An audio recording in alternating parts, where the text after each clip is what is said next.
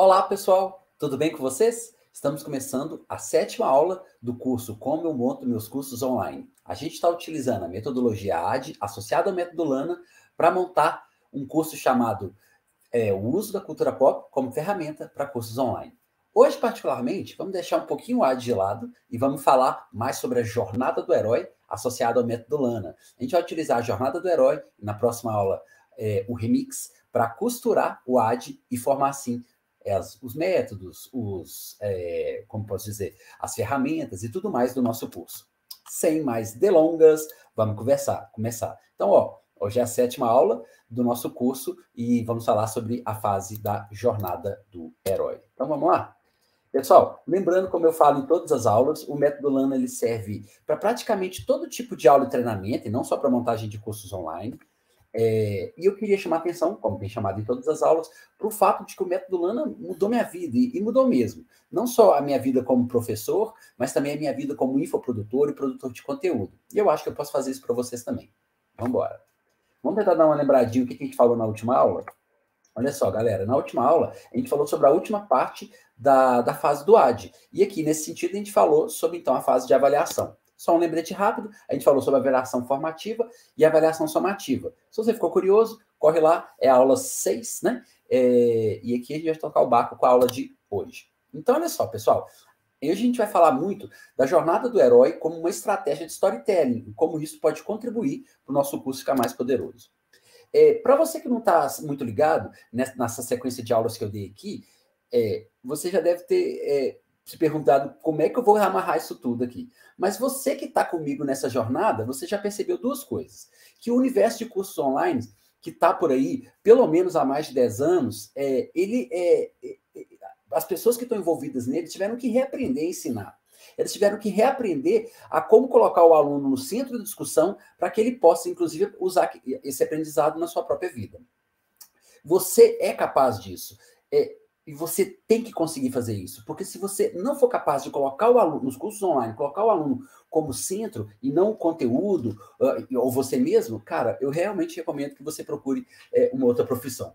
Ó, para montar bons cursos online, eu tenho dito isso aqui toda semana é muito, você precisa muito mais do que um slide bonito ou umas videoaulas caprichadas. É, Para esses novos tempos, você precisa ensinar de verdade, porque quando você ensina de verdade, você transforma a vida do aluno, é que ele volta, se torna um aluno recorrente, ou mesmo que ele recomenda você para outros colegas.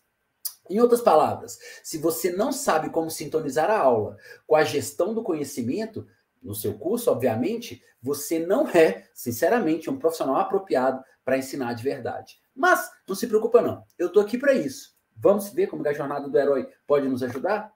Galera, a jornada do herói, ela pode nos ajudar justamente porque ela funciona como uma ferramenta de storytelling. Nesse sentido, ela vem para contribuir para aumentar o repertório, não só das estratégias, mas também da inovação. Então, ela vai te sintonizar, o aluno, vai sintonizar o aluno com o conteúdo com a realidade empírica dele. Então, nesse sentido, ela funciona como um recurso para os cursos online, para aproximar aluno, conteúdo e plataforma. Então, vamos lá, pessoal. Agora, começando de verdade. Vamos falar sobre a jornada do herói enquanto uma forma realmente comprovada para contar boas histórias. E depois a gente linka isso ao nosso propósito. Olha só, no primeiro ponto, eu acho que é importante te entender, para poder sacar aqui direito que como que ela, ela, ela é uma metodologia comprovada para contar boas histórias, é entender propriamente o que ela é. Porque se você caiu aqui de, de paraquedas e não sabe o que ela é, vamos saber agora. Ó. A jornada do herói, gente, é uma metodologia narrativa de contar histórias dividida em 12 casas. Então, ou seja, o herói, ou no caso assim, o protagonista, ele tem que passar por uns desafios, diferentes desafios, e nesse sentido, por diferentes etapas de desafios. Essa estrutura da jornada do herói foi utilizada consciente ou inconsciente em absolutamente todos os mitos, romances e lendas dos últimos anos. Inclusive, gente, a gente pode dizer que a jornada do herói é um dos modelos mais clássicos e mais utilizados em toda a cultura ocidental, provavelmente em toda a história. Oh, além de ser um dos modelos mais utilizados por escritores e roteiristas na atualidade, ela também é uma estrutura muito poderosa, tanto para o marketing quanto para a produção de conteúdo. A gente vai ver isso aqui agora. Muita gente, muita gente. Agora, a gente pode chamar também a jornada do herói como um monomito. Por que o monomito? É como se existisse só um mito, uma forma de contar histórias. Então, agora a gente vai ver como que o monomito ele pode ser utilizado para potencializar os nossos cursos online. Para entender como que ela pode ser utilizada para potencializar nossos cursos online, a gente tem que entender de onde veio essa estrutura e como que ela funciona. Então, vamos ver aqui agora sobre um pouquinho rapidamente, tá, gente? Só uma pincelada sobre a origem da jornada do herói. Ó, a primeira vez que esse termo jornada do herói apareceu foi lá em 49 no livro O Herói de Mil Faces, do Joseph Campbell. Talvez você já tenha ouvido falar desse nome. A gente pode até pensar um pouco sobre esse, esse nome, o herói, de mil, o herói de mil faces, né? É como se é, o herói ele fosse essencialmente, ou ao menos na sua proposta narrativa, um mesmo, em absolutamente todas as histórias. Se é a primeira vez que você está escutando isso, é, você pode pensar assim, não, nada a ver, como se todos os heróis são iguais. E, e, eu pensei assim, a primeira vez que eu escutei isso, há 20 e tantos anos lá na faculdade. Mas vem comigo que é interessante. Ó, o Campbell, ele na verdade dedicou parte da sua vida para estudar arte, literatura e especialmente religião e mitologia. E foi aí que ele conseguiu fazer todas essas ligações. Deixa eu só fazer uma coisinha aqui para ajudar a gente, galera, para ficar maior. Aê, agora sim. Bom, então, olha só. É, é, tantos estudos, tantas pesquisas, misturando tantas áreas diferentes, foi justamente o que tornou possível ele consolidar essa forma narrativa do, no, livro, no livro O Herói de Mil Faces, chamada Jornada do Herói. Porque ele estudou, gente, tudo, desde Jesus, Buda, até todos os mitos da Grécia Antiga. Ó, para o Campbell, era como se todos esses relatos seguissem sua própria maneira, a sua própria maneira, mas a mesma estrutura arquetipa, ou arquétipa entendeu? É, os heróis é, e as histórias, com palavras e formulações diferentes, na verdade estavam como se dentro de um mesmo, de um mesmo arquétipo mesmo, de uma mesma estrutura. O que, que isso quer dizer? Quer dizer que existe um modelo que serve como exemplo para contar boas histórias, porque essas histórias que sobreviveram são as boas histórias, as que a gente conta até hoje. Ah, e um detalhe, olha só. Ele não criou um passo a passo para poder entender isso, mas ele tentou fazer as narrações se encaixarem umas nas outras, ou mesmo na teoria dele. Então ele não tentou fazer isso, entendeu? Pelo contrário, ele observou que existia algo em comum na forma que esses mitos eram contados, entendeu? Apenas isso. Mas ele explicou com a sua teoria a partir desses arquétipos que eu falei, mas utilizando o, o, o, psicólogo Jung, tá bom? E esse consolidou a jornada do herói em 18 estágios, que por sua vez foram divididos em três atos. Vem comigo para saber quais são. Olha só. O primeiro é a partida. Quais são os atos que estão lá dentro da partida? O mundo cotidiano, a chamada aventura, a recusa do chamado, a ajuda do sobrenatural, a travessia do primeiro linear e a barriga da baleia. Gente, é, eu não vou perder muito tempo aqui explicando um a um, eu vou pincelar eventualmente ao outro, assim, o mundo cotidiano. Então, o herói está lá no seu dia a dia normal, na sua vila, na sua cidade. O recurso ao chamado é quando chega para ele a proposta da aventura, tipo o, o, o Gandalf chamando o Frodo para ir para a jornada. É, e ele faz, ele tem uma recusa, ah, não sei se eu vou. Depois a ajuda do sobrenatural, tipo, algo incrível, acima da realidade acontece para ajudá-lo. Então, é, eu não vou ficar falando de um, um, a um aqui, tá, gente? Mas é, pesquisem se ficarem curiosos. O ato 2 é a descida, a iniciação e a, e, a, e a, penetração. Quais são as casas que estão ali dentro? A estrada de provas, o encontro com a deusa, a mulher como tentação, sintonia com o pai, a apoteose e a grande conquista. A mulher como tentação aqui, nos dias de hoje, cai mal nesse sentido, porque parece um pouco preconceituoso, né? Mas eu convido vocês a pensar é, com a cabeça do Campbell daquela época, sem fazer nenhum, nenhum é, sem precisar perdoá-lo pela fala, tá bom? É, bom, e o terceiro ato, que é o retorno, é a recusa do retorno, tipo assim, o herói não sabe se volta para casa ou não. O voo mágico, o voo mágico aqui como o tapete do Aladim, o Frodo sendo, sendo pego pela, pela, pelas águias no final e por aí vai. É, a travessia do limiar, o Senhor de dois mundos e a liberdade para viver. É, agora, vamos tentar entender como que essa proposta do Joseph Campbell pode ser pensada numa estrutura mais cabível para a gente, tá? Ó, provavelmente, se você reparar bem no, no, no, nos filmes e livros que você gosta, que são favoritos para você, é, e, se não for tintim por tintim, pelo menos boa parte disso que eu acabei de falar tá lá. É, eu estou falando isso desde grandes sucessos como Matrix Star Wars, como absolutamente qualquer outro filme de ação e aventura. Oh, e não são só esses filmes de Hollywood, mas também a Jornada do Herói funciona para formatos mais curtos, como vídeos institucionais, cases de sucesso é, é, no YouTube e cursos como é o nosso caso. Então se liga só. se liga nas 12 casas que o, que o Christoph Vogler definiu para a jornada do herói. Primeiro vamos entender o que é o Christoph Vogler, tá, gente? É, aliás, vou deixar para falar no final, porque senão é, acho que o raciocínio pode passar um pouco aqui. Ó. O de Christopher Vogel, então, estudando a partir da, da, da proposta do, do, do ele propôs essas 12 casas. A primeira é o mundo, assim, ele pegou aquele, aquele o, o sugerido pelo Campbell lá e formatou de uma forma que fica mais adequada aos nossos tempos e para a gente, no uso dos cursos, ela ainda é mais proeminente ainda, mais adequada. Primeiro é o mundo comum. Então, no mundo comum, a história começa apresentando o protagonista em seu status quo, na sua vida cotidiana. Até aqui tudo igual, né? Depois do chamado aventura. Aqui, o protagonista recebe o chamado, que pode ser um convite externo ou uma situação em que ele mesmo se coloca nessa aventura. Por exemplo, alguns exemplos que eu coloquei aqui. Ó. O Harry Potter foi convidado por meio das cartas e da visita de Hagrid para estudar é, em Hogwarts. Isso é um fator externo, né? Então o Hagrid foi até lá. Já a, a Katniss Ever, Evergreen Everdeen, desculpa, decidiu por conta própria se voluntariar para participar dos Jogos Vorazes. Então, aqui é o fator interno. Três é a recusa do chamado. Então, olha só, normalmente, depois de receber o convite, o protagonista reluta em aceitar, porque ele não quer sair do mundo comum, é muito mais confortável ficar onde a gente está, né, gente? Foi o que aconteceu, por exemplo, com o Luke Skywalker, quem se lembra, no princípio, ele, ele se recusa a ajudar a princesa Leia. Depois ele aceita o convite do Obi-Wan a, quarta casa, a quarta etapa, perdão, é o encontro com o mentor. Ó, para motivar o, o protagonista a, a, participar, normalmente, assim, entrar na aventura, normalmente ele precisa de um empurrãozinho, de uma dica, de uma fala do seu mentor. É muito comum, muito natural que essa figura seja representada por alguém mais velho, é, uma pessoa mais sábia, tipo o mestre dos magos, por exemplo, sabe? Um outro exemplo, por exemplo, é o Hammett, que é o mentor da própria Katniss Everdeen em Jogos Vorazes. Se, vocês se lembram bem disso aí, ele, ele é um dos sobreviventes dos jogos anteriores. Então ele passa essa, essa ideia de, de, de, de experiência, apesar de não ser uma figura mais velha como o, o, o, o Mestre dos Magos que eu acabei de citar. Em quinto lugar, a travessia do primeiro, do primeiro limiar. Então, olha só, é, aqui da, da, da, da, do encontro com o mentor, que motiva ele a participar, a gente tem essa travessia, que é uma passagem do primeiro limiar, que seria o primeiro desafio, o primeiro local, por aí vai. Então, finalmente, como eu disse aqui, o herói deixa o mundo dele para trás e vai para o desconhecido, né? Por exemplo, é quando o, o, o, o, o Harry entra no trem para poder ir para Hogwarts. Sexto lugar, provas, aliados e inimigos, né? Ó, dentro desse mundo novo, o personagem principal sempre vai fazer amigos, inimigos e vai enfrentar uma série de testes. Senão não tem história, na é verdade.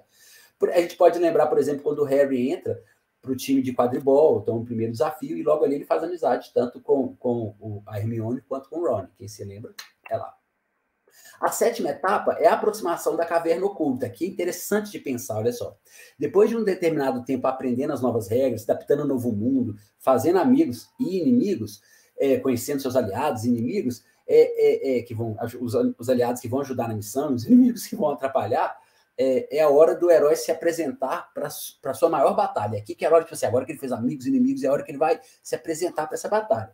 Então, assim, é importante pensar que nessa, nessa etapa, na sétima, é nesse momento que ele vai atrás dos seus maiores objetivos, porque justamente onde estão suas maiores batalhas estão também seus maiores objetivos. Se a gente pensar, por exemplo, num jogo de videogame, essa etapa seria a, a parte da passagem da fase mais difícil, entendeu?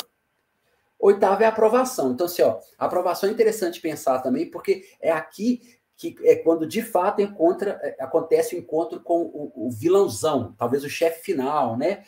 Em outras palavras, seria quando o herói se vê de frente com a missão principal da sua jornada, a, tentativa de, a primeira tentativa de resolução da jornada. Geralmente, a aprovação é uma experiência de quase morte. Em quase todas as histórias é quando o herói quase morre mesmo. Então, o protagonista ou se ferra ou sai com um futuro glorioso. Por exemplo, mais, a, o mais claro de todas as histórias é o Jesus Cristo. Da nossa história, seria talvez, a nossa história cristã ocidental, talvez fosse a história de Jesus Cristo. É quando ele enfrenta a morte na cruz, para três dias depois ressurgir. Mas trazendo um pouco mais para o lado nerd contemporâneo, a gente pode pensar de novo no Star Wars, no momento em que o Darth Vader conta para o Luke é, que ele é o pai dele e o Luke se joga para se matar, mas é, é resgatado, né? A nona casa é a recompensa. Então, ó, após passar pela experiência de quase morte, que a gente acabou de citar, seja uma experiência física ou mental, tá, gente? O herói ressurge como um novo homem, é, refeito, renovado e tudo mais. E é aqui que ele recebe, então, uma recompensa por ser é, por, por ter passado por tudo que ele passou e, obviamente, por não ter, por não ter morrido. Normalmente, nas histórias, é a obtenção de uma nova habilidade, uma nova arma, e por aí vai. Por exemplo, no final do primeiro filme do Harry Potter, Dumbledore dá pontos extras para o Harry, lá no jogo de quadribol, é, que o que faz que a equipe dele, que é a, a Sonserina, perdão, a Grifinória, ela ultrapassasse a Sonserina e ganhasse o, o campeonato das casas. A décima etapa é o caminho de volta, que aqui é justamente quando o herói que já venceu seus desafios é, e conquistou seus objetivos volta para casa, né? Retorna para casa. A décima, a décima primeira é a ressurreição, é ressurreição perdão, é, que é, é, é, justamente o momento talvez mais decisivo na vida dos, dos todos os personagens principais, porque é onde ele precisa provar realmente que aprendeu as lições valiosas durante a sua aventura. Então, é aquele momento em que ele ressurge é como uma pessoa nova, diferente e transformada. E aí eu lembrei aqui de um exemplo da minha infância, que é da, da, da do irmão Urso, e para quem assistiu, a ressurreição é quando o Kenai decide é, que vai é, continuar como urso para cuidar da corda. Vocês lembram disso? Por fim, gente, a última é a 12 casa chamada de Elixir. Quem joga RPG sabe que o Elixir é uma porção que você ganha que te dá vida nova, que te faz ressurgir. Então, é, a gente pode dizer que aqui é, o, é, o herói, ele, depois que ele passa pela ressurreição, ele ganha um Elixir, né? E ele volta para o seu mundo, para a sua terra natal, com esse Elixir na mão. A gente pode pensar numa poção mágica de cura e por aí vai ou um tesouro, né? ou uma grande lição que ele aprendeu durante a jornada. Essas são, então, gente, as 12 casas que o Christoph Vogler é, é, sugeriu a partir da interpretação dos três atos do Campbell.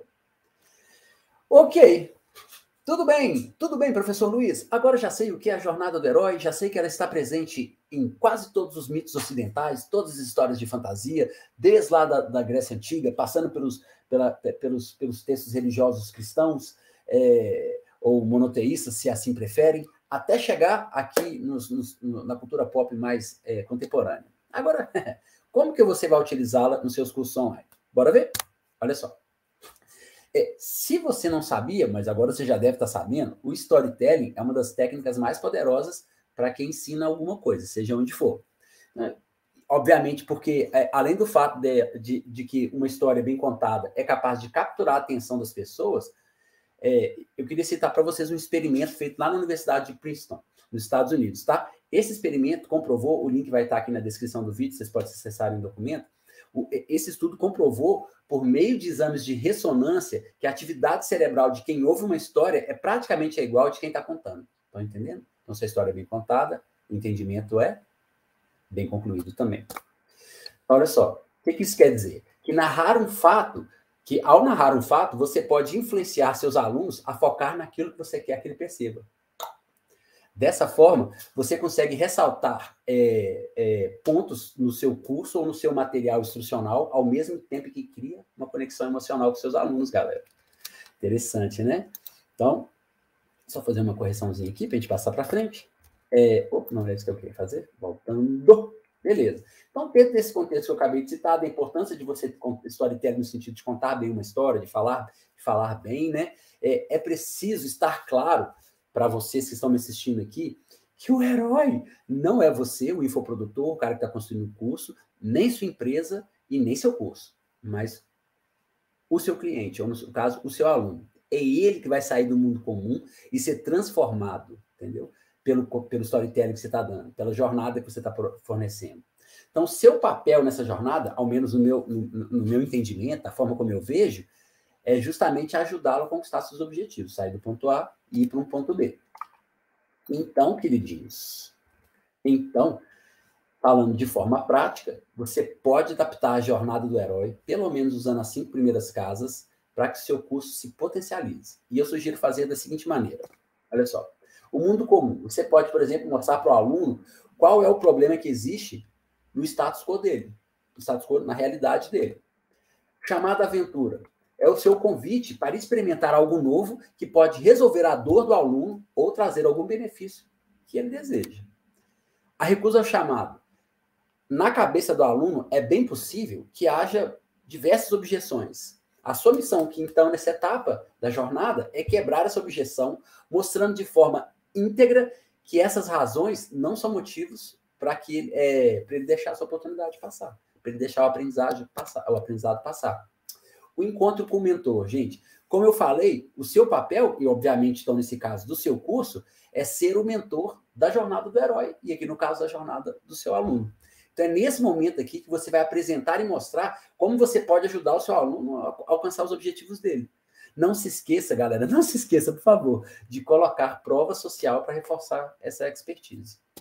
Por fim, a travessia do primeiro linear. Aqui você pode usar a passagem para o novo mundo como a sua CTA. CTA, o call to action, sabe? Já chamar atenção. Por exemplo, um botãozinho que finaliza a compra ou completa a conversão. Aqui, ó, então, nesse sentido, é quando o cliente toma a decisão se vai prosseguir ou não com a oferta que você está fazendo lá dentro do curso. Aplicando essas cinco etapas, galera, você consegue criar uma oferta de forma estruturada, seja já com o curso já andando, ou seja lá durante o seu lançamento. Mas eu queria mostrar uma coisa aqui a mais. É o seguinte: tem essa estrutura aqui que todo mundo, quem for produtor, usa tanto durante o lançamento ou durante a construção do material instrucional. Mas eu queria uma coisinha aqui para a gente também. É, então, olha só, além da adaptação dessas cinco etapas, vocês podem utilizar também o que eu chamo de espiral da jornada do herói. E aí, deixa eu colocar aqui para a gente. É, me deem só um minutinho, estou voltando aqui para a tela. Janela, meu Photoshop. Aqui. Galera, eu criei. Opa, deixa eu voltar para outra. Eu criei esse. Deixa eu colocar no grandão para vocês verem. Eu criei essa, esse mapa, que é um mapa feito a partir do storytelling, da jornada do herói mesmo. Eu peguei as 12 casas e agrupei em sete, então tem duas delas aqui que estão unidas em, em, em uma só. E eu chamo de espiral da jornada do herói, que é o storytelling para cursos online. O que, que seria esse, essa espiral? É uma espécie de mapa de composição de um storytelling para aprendizagens significadas ou significativas. Então, é um passo a passo para você utilizar a jornada do herói para criar ferramentas, metodologias e materiais instrucionais, que é o que a gente está discutindo aqui há seis semanas já. No primeiro, eu, eu ah, pessoal, eu, uma coisa, eu vou falar muito rapidamente sobre isso aqui, porque a gente vai preencher na próxima aula para não ficar gigante e porque quando a gente preencher isso aqui, a gente vai criar um material instrucional focado na lógica da próxima aula, que é o remix. Então me parece mais pedagogicamente construtivo que a gente faça isso no começo da próxima aula, porque quem acessar o próximo vídeo entende tudo. Se a gente fizer isso aqui agora, quem acessa só o próximo não entende a lógica de construção que eu quero criar. Então, fica aí a dica para a próxima aula. Mas eu queria só passar rápido aqui para vocês verem. O primeiro eu falei como cenário e contexto. Quais são os problemas é, é, que instauram o ponto de partida da, dessa narrativa, desse storytelling? O dois, personagens. Quem faz parte dessa ação narrativa? Três, conflito-problema. Qual é a solução que uma intervenção traz para um problema, conflito, apresentado na própria narrativa? Ou, ou, em outras palavras, como os personagens sofrem, perdem com esse conflito, com esse problema? A quarta, dificuldades para soluções. Quais os múltiplos aspectos envolvidos na busca por soluções, onde a aprendizagem proposta contribui como é, é, elemento-chave? Então, a gente vai procurar aqui quais são as dificuldades para solucionar essas, é, é, para solucionar a problemática apresentada a partir de elementos chaves que estão na própria estrutura do curso. Quinto, elementos de pressão. Aqui a gente vai apresentar fatores catalisadores para a necessidade de que somente as soluções oferecidas pela aprendizagem sejam adicionadas ao processo, entendeu? A sexta e penúltima, gente, que é a solução do herói, que é como superar os problemas, as dificuldades, as pressões e, por fim, o desfecho, que qual é a nova ordem, o cenário é, que foi superado a partir do contexto inicial. Eu criei, então, um template para poder é, fazer o preenchimento e criar esse material instrucional a partir dessa orientação aqui, desse passo a passo. E isso a gente vai ver na próxima aula, tá bom? Deixa eu voltar aqui para mim. Galera, é isso. Espero que vocês tenham gostado. Essa aqui foi nossa sétima aula, então, da Jornada do Herói é, enquanto uma estrutura para ligar o processo e o método Lana à construção de materiais instrucionais. É, eu, eu, dei dicas, inclusive, que podem ser utilizadas até durante o lançamento, e ao final que tentei amarrar tudo com o entregável. É, o curso que a gente vai lançar daqui uns meses, ele vai ter esse entregável lá, então acho que vocês vão curtir. No mais é isso, eu acho que essa aula já ficou aqui muito maior que as outras, eu vou parando por aqui. A gente se vê na próxima semana falando sobre remix e vamos começar com a construção desse template aqui da Jornada do Herói. Valeu, galera, até lá!